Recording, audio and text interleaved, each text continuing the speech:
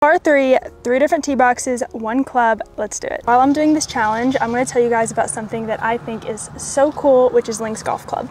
Okay, for the first tee, we have 160 yards, but to talk more about Links Golf Club, it's a modern golf community that provides its members with so many different benefits. And the best part is that they offer three different types of memberships.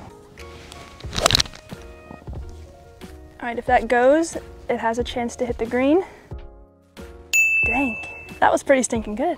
Okay, the first membership that Links offers is the starter membership. You get access to exclusive offers from top golf brands, access to group chats with other local passionate golfers, and you get access to exclusive events. On tee box number two, we have 135 yards.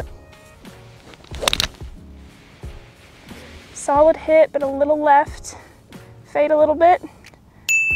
So the second membership is the player membership. This membership includes all the benefits mentioned before, plus access to over 800 different courses, including private courses. Third and final tee box is 100 yards. I left it short. The third membership is the pro membership. You get all of the benefits mentioned before, plus a membership to a private golf course and access to over a thousand different golf courses. I'll definitely take two out of three greens, but be sure to check out Links Golf Club. There are so many benefits that I didn't mention, so check out their website and read about the memberships for yourself, and maybe you'll find one that you like.